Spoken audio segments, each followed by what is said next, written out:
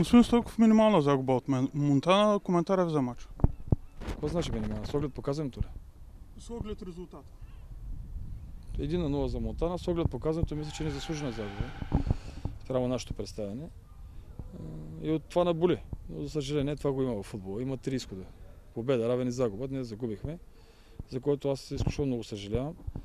А, Мисля, че отбора така имаше много ситуации, които доста чисти, които заслужавахме да вкараме и да се върнем в матча, защото ние да го обърнем. Но това е. Аз предупреждавах предните мачове, ако си спомняте, че до трудни моменти, защото знам какво е състоянието на състезателите и на отбора като цяло. Дойдоха тези моменти и сега е време да видим характер имаме ли като отбора, за да излезем от тази ситуация.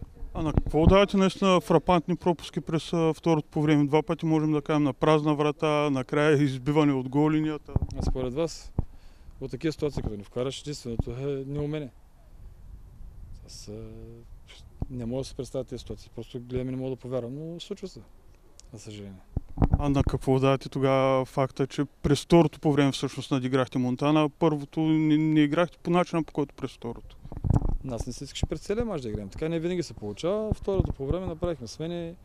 Така опитахме се да вкараме малко повече скорост в действията и в мисленето с хората, които влязоха. Дадаха го това нещо, дойдоха и ситуациите, но за съжаление не вкарахме. Казахте, че е дошъл трудния момент. Вярвате ли, че ще излезете по най-бързия начин от него? Ще направим всичко възможно да излезем и трябва да излезем, защото първенството се тече, няма кой да начака.